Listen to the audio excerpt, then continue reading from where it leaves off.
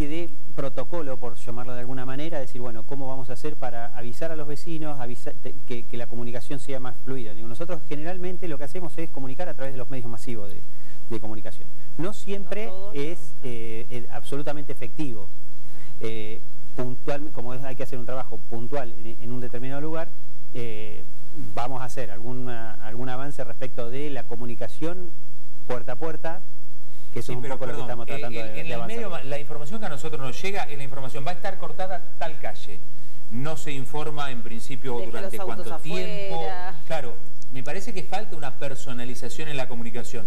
Con una persona, no sé si de la empresa contratada o, del municipio. eso tiene que ser parte, es decir, la empresa puede hacer una comunicación, pero tiene que ser parte de un protocolo del propio municipio. Es decir, de, y, decir, las, dos cosas. Al, al que está haciendo la obra, no tiene nada que ver. El tipo está ahí en el, camioncito y la gente se dice, ¿hasta cuándo van a estar? y, la gente también muchas veces se la agarra con la persona que está trabajando, que no tiene la culpa ni la responsabilidad. Siempre, el más cercano es el que tiene que terminar dando respuesta. No, por eso digo, eh, en, ese, en ese sentido, por eso insisto, la idea nuestra es, ahora estamos, algunas obras que estamos paralizando para, para o, no queremos avanzar para hasta definir un poco cómo es operativamente esta comunicación. Y fundamentalmente lo que tiene que tener es el plazo de, inicio de la obra y eh, un plazo eventual en la medida en que no haya condicionante, que decir, toda obra puede llegar a tener alguna eh, algún retraso, alguna cosa que aparezca, algún caño que se puede romper o alguna interferencia que no estuvo bien este, clara y que por ahí termina generando alguna complicación en la obra. eso son un poco lo, que estamos trabajando para tratar de hacer más un trabajo de, de acupuntura, digamos, de decir, bueno, puntualmente ir a ese lugar. Por ejemplo, en la calle Buzón, muchos comerciantes tenían em, una librería, ¿no? Que ahora, principio de, clases, todo el mundo esperando que llegue ese momento para hacer la diferencia y que compren útiles. Bueno, se encontraron con esta obra que no saben hasta cuándo va a durar, no les sirvió ni para hacer una buena venta. Hay una chica que gestionó la apertura de un local de celulares estuvo haciendo infinitos trámites en el municipio, nadie le advirtió que en el día de su inauguración ya iban a estar bloqueadas las calles, la chica ya abrió con un local sin gente y no hay manera de convocar. Entonces, esos detalles, cuando una persona lo personalice y haga puerta a puerta por la calle Buzón o por donde se vaya a cortar y hable con los comerciantes, creo que por ahí van a poder ustedes también tomar otro tipo por Está claro que, es así y, reconocemos que por ahí lo que sí se hizo un trabajo más masivo y que lo que hay que hacer, lo que requiere, y puntualmente en el caso de ese, es un trabajo más puntual en, el sector en el que abarca la obra. Eso es lo que estamos, lo, estamos haciendo ahora. Esa chica estuvo en la reunión, ya tiene plenamente este, todos los datos que nosotros, de los que nosotros disponemos para, para, para cuándo va a ser la obra, hasta cuándo va a estar, cuándo se puede abrir, etcétera, con la, como para tener más certeza. Eh, tengo entendido que después estuvo hablando con, con, los medios en general, con el ECO inclusive, en el que se, al finalizar la reunión ella estaba este, como más contenta porque tenía un panorama respecto de qué era lo que iba a hacer. Que se lo hubiera tenido al principio, bueno, no digo que iba a estar feliz, pero por lo menos con una idea. Gente totalmente con buena voluntad, ¿eh? porque todos lo manifiestan desde una tranquilidad infinita, que uno dice cómo se mantienen con esa tranquilidad frente a la imposibilidad ahora de pagar o el alquiler del local o los servicios o lo que fuera. Entonces también van y lo plantean bien, ¿no? Que uno a veces dice al vecino que plantee bien las cosas, no ir agresivamente al municipio.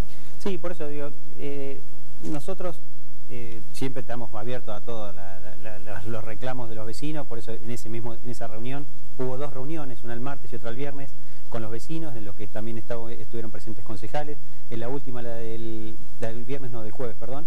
El jueves eh, vinieron gente de, vialidad de provincia a dar, que es quien tiene el control de, esa obra, el control técnico de esa obra. Este, estaba estuvo el inspector, ellos, los vecinos, eran conscientes de que estaba presente constantemente el inspector, que había un control respecto a esa obra, sí lo que falló por ahí es eh, puntualmente la comunicación. O sea, de ahora en más, cuando se haga una obra va a haber un protocolo para Va a haber una convocatoria, una, una, información que va a estar puerta a puerta y que seguramente eh, se lo va a golpear la puerta o se le va a dejar algún papel al, que, el que y en la usina muchas veces utilizan ese recurso. Cuando va a haber un corte programado de luz, te dejan también un papel debajo de la puerta. Eh, otro tema es el tema de la señalización, que lo hemos hablado eh, alguna vez con vos, ¿no? mayoría de los casos eh, se encuentra con la obra y que tiene que doblar o a la derecha o a la izquierda, pero cuando ya está cortado. Eh, sí, Tandil tiene una, por, la propia topografía de Tandil, tienes un, condicionante, por ejemplo, muy fuerte, como por ejemplo puede llegar a ser en, Avenida Avellaneda, en el que vos tenés todo el, macizo del cerrito que por ahí también genera, entonces esas, muchas veces esas condicionantes son, esos son como condicionantes muy fuertes también de la propia porque hay muchas calles que están cortadas. pero las cuadras para avisar antes están. Sí, eh, por eso digo, pero eh, la, en general no hay demasiadas salidas, entonces bueno, uno podría tener un una distinta lógica para, para, avisar, este, lo que pasa es que termina siendo como demasiado engorroso los trayectos que uno debería hacer para... Pero vos venís, hablemos de Buzón, ahora que está de moda iba a decir, pero Tierra del Fuego, eh, para ir a Buzón te encontrás que la señalización está directamente para doblar por Novoa a la izquierda, no te queda otra salida. Digo, si vos avisás... No, una antes para doblar a la derecha. Vos elegís derecha o izquierda. Digo, en las ciudades, y no hablemos de Capital Federal, que tiene una muy buena señalización en ese sentido, hablemos de ciudades intermedias, vos ves que el sistema de, señalización es más efectivo. Acá, bueno, no digo en todos los casos, no hablemos de azul. No, no, no, no, yo digo en Capital mismo, digo, yo ayer fui a Capital y hay, un trayecto, por ejemplo, ahora que están haciendo unas obras muy importantes. por el bajo. Exactamente. y, es un caos importante. Es verdad, pero vos, digamos, hay, muchas cosas que terminan siendo muy difíciles de resolver, o si vos anticipás, digo, esto que vos decís, de, poner una cuadrante para que quiere doblar para una, para una mano, o, y la otra siguiente, sí, cuando está cortado, que vos tenés la otra posibilidad para doblar al otro lado. Eh, cuando uno plantea ese, esa primer barrera o esa primer señalética, debería ser eh, plantear un recorrido que por ahí eso eh, en, el propio cartel, en la propia señalética, que eso es muy difícil de generarlo en todos los momentos, ¿no? porque implicaría un costo eh, grande. Y a su vez, muchas veces, inclusive cuando tiene un, cartel, como nos pasó en, Avenida Avellaneda, cuando uno tiene una barrera que dice, bueno, en la, próxima no, doble porque está cortada, estuvo cortada la, la boca calle, inclusive muchas veces uno veía vecinos que seguían y cuando efectivamente estaba cortado recién ahí se pegaba la vuelta. Tenía, sí, eso también es cierto. Señores, seguimos charlando aquí con el arquitecto Luciano Lafose, subsecretario de Obras Públicas, y en minutos nada más estamos inaugurando un espacio, un micro con Víctor Bravo, vamos a hablar de seguridad, eh, espacio muy interesante, en minutos nada más, pero seguimos con Luciano. Sí, claro que sí. Bueno, le hemos eh, dejado algunas preguntas pendientes al arquitecto y una tiene que ver con el polo logístico. Eh, ¿En qué estadio está? ¿Se está avanzando? Se está avanzando con reuniones, con se, hizo un grupo de, trabajo, un grupo técnico, un equipo técnico eh, que se está avanzando. La semana pasada se hubo una reunión fundamentalmente en el, área de desarrollo local, también está con presencia del, área, del área nuestra de obras públicas.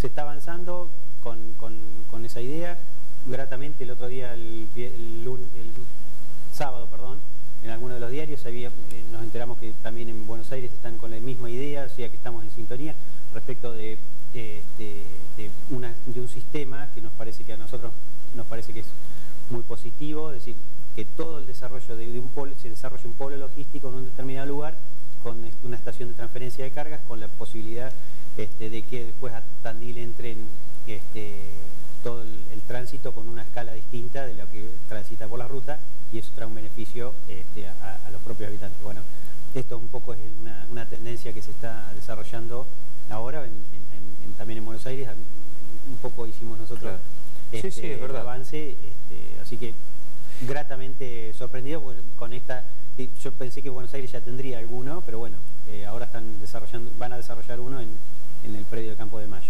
Para evitar que vehículos eh, de gran porte entren a, la ciudad. En Buenos Aires eh, entran vehículos más pequeños, pero creo que los quieren achicar más todavía porque se complica muchísimo. Eso en general, eh, bueno, Campo de Mayo está por fuera del área de, la, ciudad autónoma de Buenos Aires, pero bueno, para tratar, abordar todo el, problema del tránsito como una, como una integridad, como al ser un área metropolitana eso del, tema de los polos logísticos también trae una, mejora en la escala, eh, al, mejorar eso eh, también mejora el, rendimiento de las empresas, digo, tener un, espacio para tener depósitos, para hacer una transferencia y después que puntualmente que vayan a otros lados y naturalmente que va posicionar a Tandil en una escala regional para como, como, un sitio preferencial para la localización. Eh, ¿Cómo continúa? Hablamos ahora de la Ruta 226, ¿cómo continúa este, este proyecto? Bueno, en principio se va a concretar para elevar algunos tramos de la Ruta 226 en el área urbana. En principio se quería elevar toda la traza en el radio urbano, pero luego, bueno, por, factores sobre todo económicos, desde Nación no lo no lo ven factible. Sí, eso, no recuerdo si el 3 o el 4 de abril se va a abrir la, licitación este, para, ver quiénes son los que se van a presentar. Hay una instancia previa de, presentación de la documentación de las empresas, de la empresa o las empresas, porque esto al ser una, obra que abarca casi mil millones de dólares, porque abarca 700 kilómetros de ruta, entre los que está la ruta 226, la ruta 3 eh, eh, del tramo que va desde Las Flores hasta González Chávez y la, ruta 226 de, de hasta, hasta La Barría. Eh, entonces todo eso, con puntualmente el tramo que nos, involucra a nosotros, que es la traza urbana, sí se va a, elevar en determinados lugares estamos, y avanzamos respecto de, nosotros en un principio habíamos planteado este, nos habían planteado la gente de Vialidad de Nación de que solamente iba a haber tres pasos sobre nivel sobre la ruta 226. En Eso es las rotondas que se iban a elevar. Claro, no van a ser rotondas, sino que van a ser pasos a nivel. La ciudad pasa en, determinados lugares que nosotros habíamos en un principio nos habían planteado que por Espora, Falucho y Rauch este, pasara por debajo y la ruta pasaba por arriba.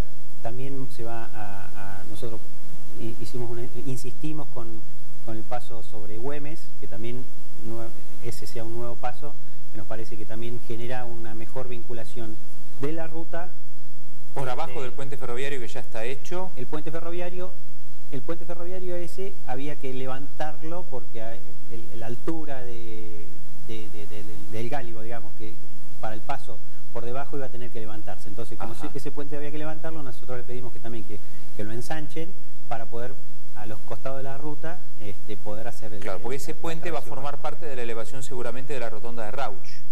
Sí, ahí no va a haber rotonda, va a haber directamente... Claro paso sobre nivel, es decir, la ciudad pasa por abajo y, la, ruta? pasa por arriba en una elevación este, para, para, que no interfieran los dos tránsitos. Correcto. Luciano, ¿y cómo se está avanzando con las obras del centro comercial a cielo abierto de Villa Italia? Eso va bien, eh, con las complicaciones propias de, una obra en un lugar muy, muy, También hay vecinos que están... Bueno, Pero están más calmos.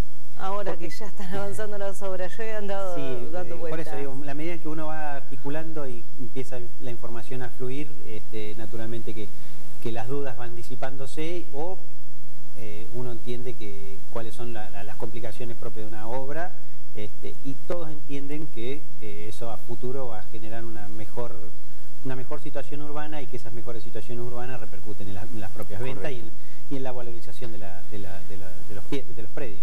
Eh, se ha pavimentado, se está pavimentando mucho. ¿Sigue siendo todavía el pavimento en mal estado una deuda del gobierno? Estamos avanzando mucho. Digo, nosotros hemos ya pavimentado. Nosotros, es más, ayer estuve en Buenos Aires con, la, idea de este, avanzar con nuevos tramos de, áreas para pavimentar, con, la idea de cerrar circuitos que son más este, de tránsito más, este, más pesado de alguna manera.